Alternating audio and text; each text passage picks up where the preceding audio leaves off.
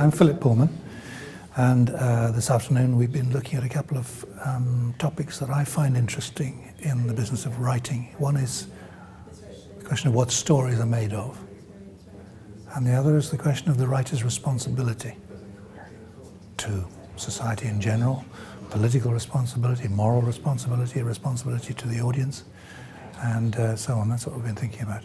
First half of the afternoon was a lecture in which I explained um, some ideas that have occurred to me about narrative, what it's made of.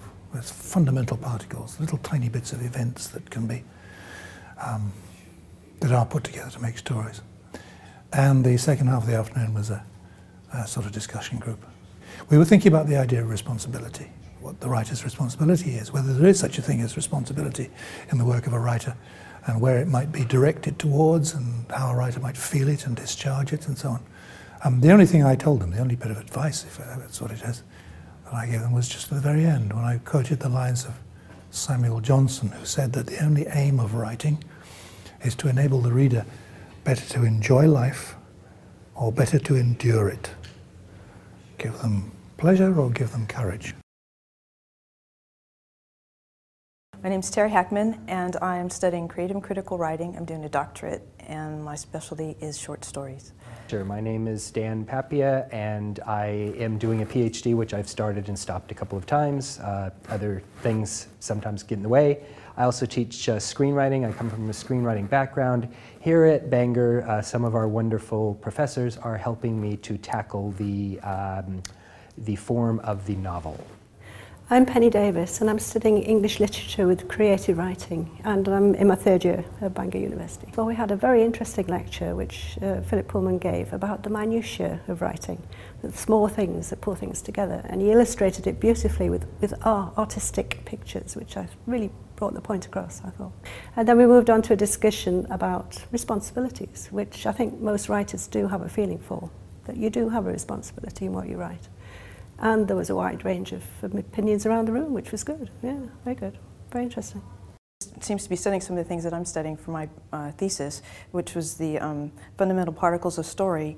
And um, these are the smallest parts, the neutral parts of a story. And that's basically what I'm doing with my thesis. So um, was, uh, that part was really helpful and got me thinking about things I had never thought about before. So. Uh, I think it helped everybody here. Um, he talked about things that many students don't normally think about. And um, uh, one of the topics that he had everybody uh, consider is responsibility and what the writer's responsibility is. And it's sort of wonderful for students to sort of get outside of uh, uh, the normal demands of just sitting down and writing and think about something from a different point of view. I think a lot of students got a lot out of uh, getting feedback and advice from Phil Pullman. Um, he, uh, he is very easy to talk to, very approachable, and at the same time, he knows a lot about writing and knows a lot about uh, what, goes in, what goes on inside the writer. I think his advice was indirect, but yes, we did get feedback. It would be extremely helpful. It'll help me to focus more, I think, on finding the right words and looking more for detail, looking more for detail, put more detail in, pull things together. It was a wonderful event. Um, we're very proud at uh, Bangor to have such an intelligent and articulate uh, honorary member of staff as Phil Pullman. Very, very good. very encouraging as well. And he's very human, you know, very down to earth. And it was easy to absorb, I think. Yes. Uh, it was absolutely exciting, and uh, I'll never forget it.